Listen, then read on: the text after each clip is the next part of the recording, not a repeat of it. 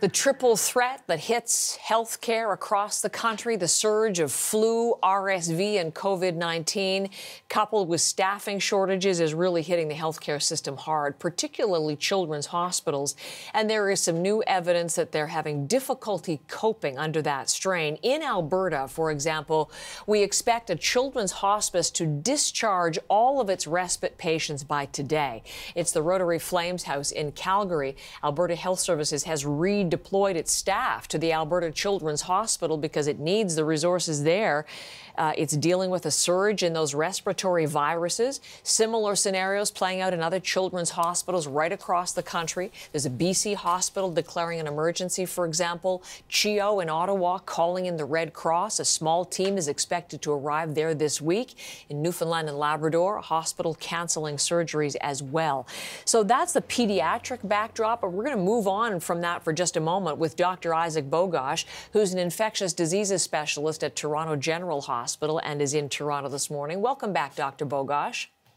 Thank you, Heather. Good we morning. are going to come back to children in a second, but interestingly, we're getting some new reporting on CBC News this morning from Lauren Pelley that hospitals in Ontario, and this won't be limited to Ontario, I wouldn't imagine, preparing for an increase in adult flu patients. And one hospital is telling us it's bracing for a 20% increase in adult admissions, 20% more than what it normally sees in a typical flu season. So, how much is this going to exacerbate what is already a crisis situation?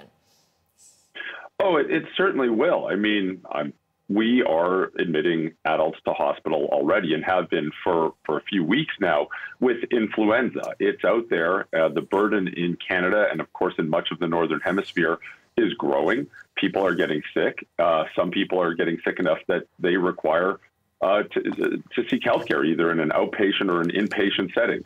There's a lot of flu out there right now, and certainly we've got a long winter ahead. Uh, we saw influenza uh, come out of the gate quickly. The season started earlier than it typically would, even uh, factoring in the pandemic. Uh, so when we think of, look at 2014, for example, to 2019, the flu season started earlier and really start uh, revved up much faster than it normally does. There is a hmm. large burden of flu. I know I keep repeating that, but that's the real message. Hey, flu shots are widely available. They're free. They reduce the chance of getting flu. If you do get flu, it can mitigate the severity of illness. It's a wonderful idea to get a flu shot right now if someone hasn't already got one, and they're available for people age six months of age and older. So that might help blunt the impact and help people stay out oh, of yeah. hospital. That's important information. Uh, it seems, and maybe you can give me the better read on this, that RSV has sort of stabilized right now, that flu, influenza is the big concern of the moment. That's correct. I mean, it, RSV certainly isn't gone, but based on some of the markers that we have, it's depending on where you are in the country, rates have leveled off, and in some places they've actually gone down. Uh, even in some places, they've decreased even significantly. But unfortunately, influenza is, is, is taking over, and even in, in the pediatric world and the adult world, uh, we're seeing a lot of influenza right now, and uh, the data that's uh, on on um, uh, available and publicly available demonstrates a very significant rise in pediatric related influenza hospitalizations as well. Well, let, let, me bring in some of those, Dr. Bogoch. In fact, from the Public Health Agency of Canada, we got the latest flu watch, and the numbers are 223 flu related admissions of children in the 12 pediatric hospitals in this country. This goes back to the last full week of November. There's the data up there on the screen, and that was the most of any week in at least a decade. So you're right, the numbers are there, and the conclusion was flu is back with a vengeance.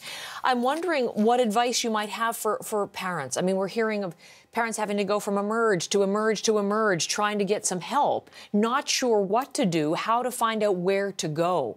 What would your message be?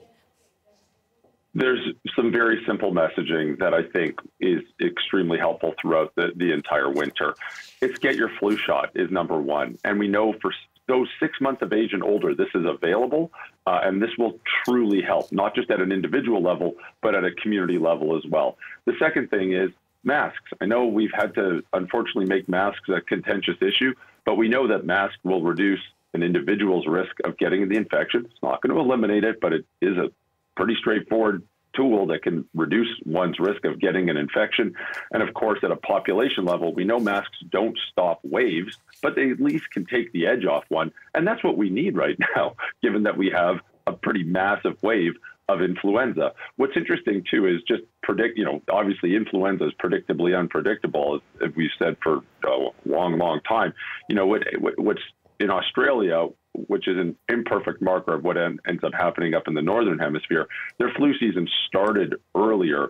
In some places, it actually ended earlier as well. So, you know, we can hope that maybe we've just frame shifted this up uh, a few weeks and that it ends a bit earlier. But obviously, hope is not a strategy. We are having issues right this minute, and we need to take steps to at least protect people and the community right this minute.